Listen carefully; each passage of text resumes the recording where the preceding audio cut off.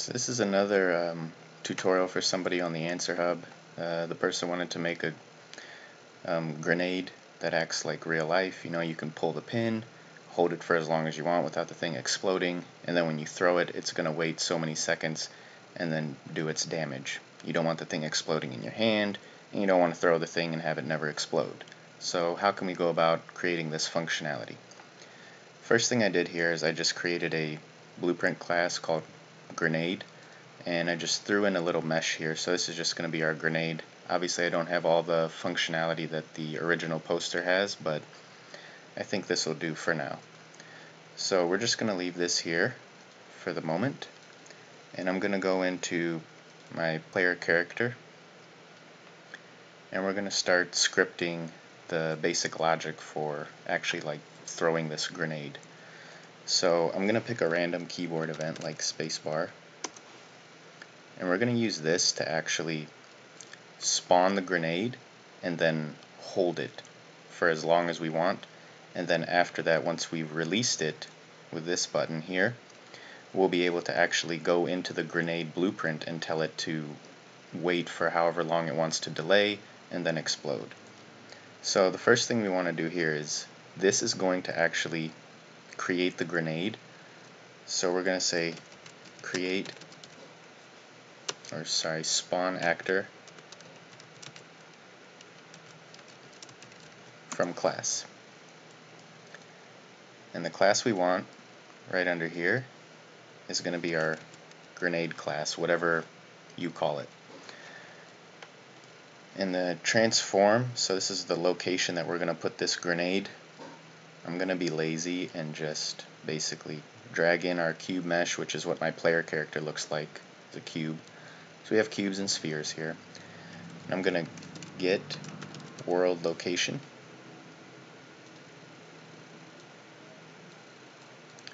Actually, even lazier, get world transform. And we're just going to spawn this thing right where we are and we want to make sure this always spawns just because I don't feel like going through all the you know creating an actual place for it to spawn like in somebody's hand or whatever. So we'll just make sure this always spawns. Ignore collisions.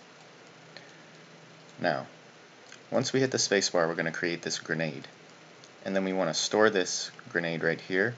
This is the grenade that we're actually creating. This is an instance of this blueprint class and we want to be able to change some variables in there. So we're going to need to make a reference to this, and the way we do that is by coming right over this pin, right-clicking on it, and promoting it to a variable. And now we're going to call this grenade reference.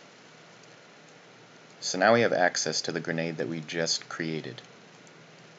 And what we want to do here is now that it's created, right, this is the initial part that we're, this is basically pulling the pin out of the grenade right? Now we want to be able to hold this for as long as we want until we decide to throw it. So I'm going to script this logic. I think I'll do it right here in the player character. And I'm going to make a timeline. And this is basically the same thing as a tick. So I'll just call this pin pulled. And what we're going to do here is we're going to play this timeline and this thing runs basically on tick off of this update here. This is just like creating a tick. But the thing I like about timelines is you can stop them. So that's going to be very important when we make this grenade. Once we throw it, I don't want this timeline to keep running. So what we're going to do now is we're going to go into the grenade blueprint and I'm going to create a variable right over here. And this is going to be called was released. And I'm going to leave that as a boolean. So if you compile it, you'll see the default value is going to be false. And that's what we want. We want it to be false. But what I'm going to have this thing do is I'm going to drag this out, hold Alt, because I want to set this to be true at some point, right? And I'm going to go back into the player character now that we have this variable, I'm going to say get it. So type in get was released. sorry, not get, set. Set was released.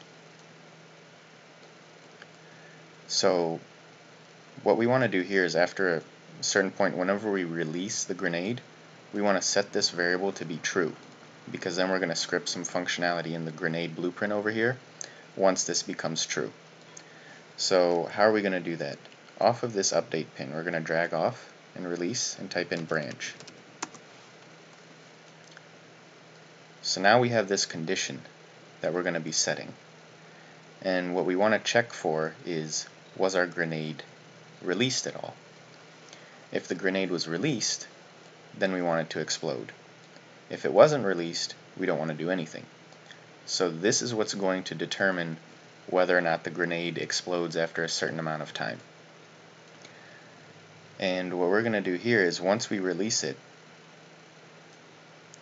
we're going to set this val this variable in the grenade blueprint to be released so that we can then script some functionality there to tell it to explode. But if it's not released, we can hold it for as long as we want, so nothing's going to happen with the false. So what is this condition here? We also need this in the player character, however you want to call it. I'll just say grenade thrown so we can kind of distinguish between the two. And we're going to plug this, drag it out, and just put it right here into this condition. So when the grenade's thrown, we're going to tell the grenade blueprint that it was released. And then we're going to do something off of that. So how are we going to figure out, you know, when is this thrown? Well, if we go all the way back here, with the spacebar pressed, we script, we form the grenade, we get a reference to it by storing this as a variable here. We activate this, and this is going to constantly check to see have we thrown it, have we thrown it.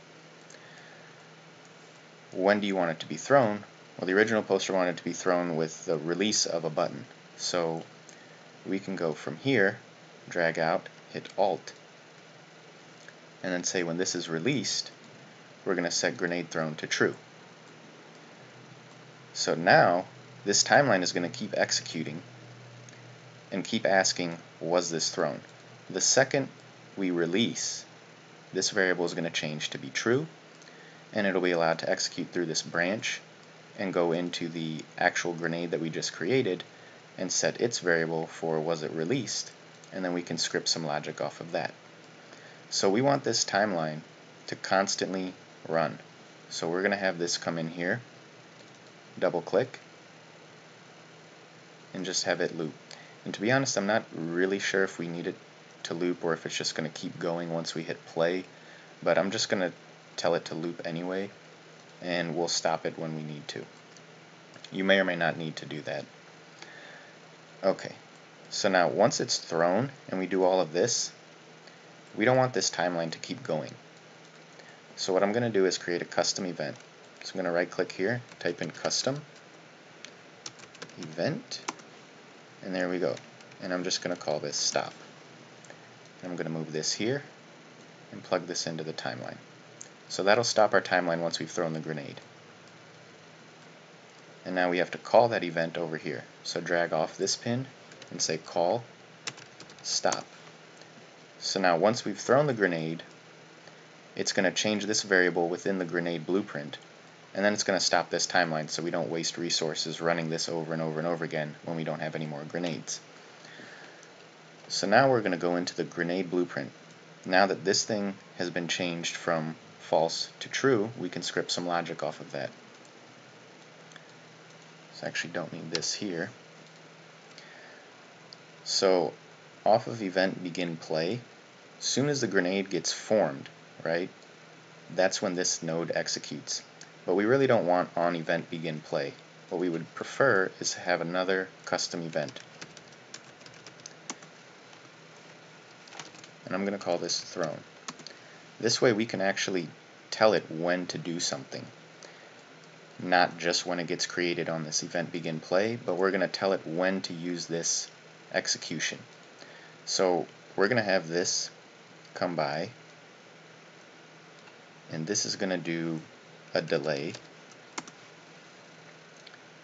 and this delay is going to be however long you want the grenade to not explode after you've thrown it so we'll just say two seconds for now.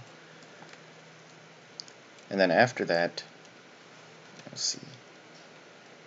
Add no not that. I'll just say destroy actor. We'll make this simple.